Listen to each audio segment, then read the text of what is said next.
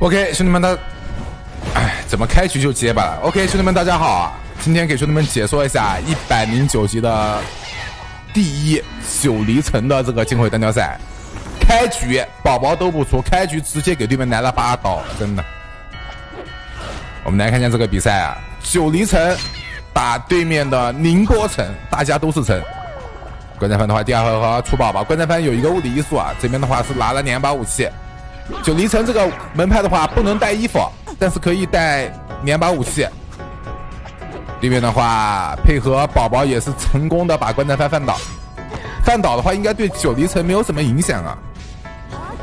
拉起来，来了一把，一刀，两刀，三刀，四刀，五刀，六刀，六刀，真的。这门派的话是有点恶心啊。能单秒能群秒，而且他每一回合都要秒这么多把。又来了一把炎魂，这个是群秒的技能，三刀、六刀、九刀、十二刀，还有啊，大哥，十四刀，我。哈哈哈哎，兄弟们，你就这门派真的，这门派一百零九级是有点舒服啊，兄弟们。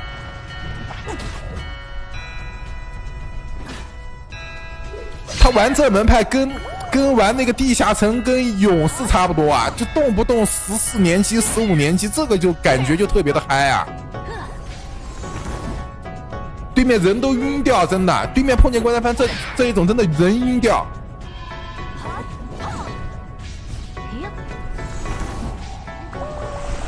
这边应该是弹了个闪现，炎魂，一刀、两刀、三刀、四刀。他有的时候是单秒，你看见没有？就这个门派可能比较克制这个门派的，可能就是高级反正，因为观战番这不能够带衣服嘛，人物还是特别脆，对吧？点倒之后的话，对面宝宝有高级反正，可能容易被震死。其他的我觉得好像没有什么克制呀，每一回合都是你看三刀、六刀、九刀。十一刀，十三刀。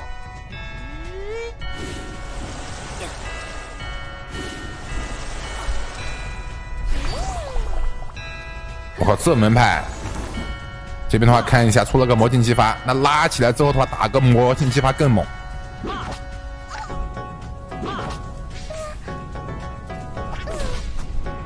可能九转不够了，出了个小孩。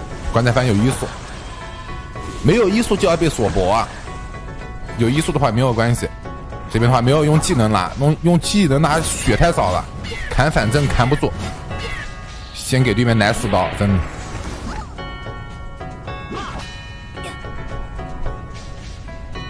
我这，就感觉对面这种群秒好卑微呀，兄弟们有没有感觉到？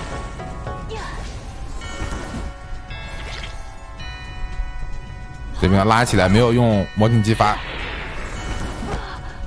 能不能让我看一下魔镜激发的感觉？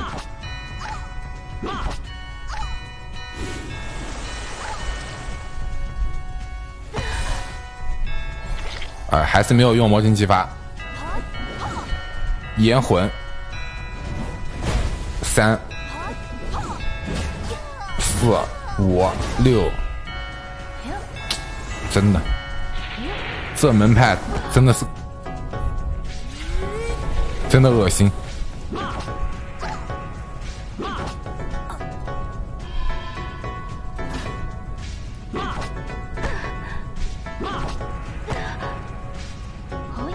比赛十一回合，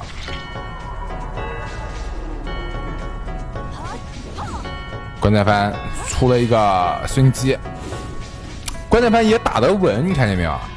也不急。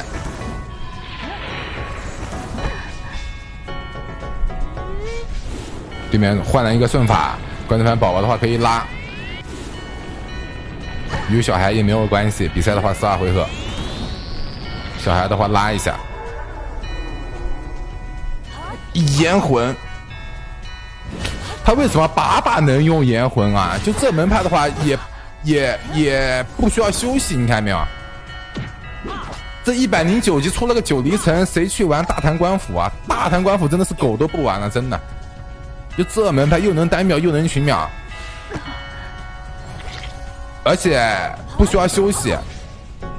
你看一下八把用技能，你看没有？救我！就我！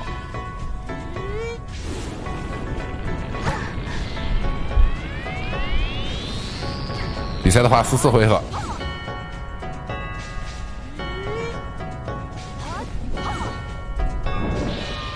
泰山压顶，打不了，真的兄弟们，这门派的话，真的打单挑的话，可能还还能打，因为你单位少。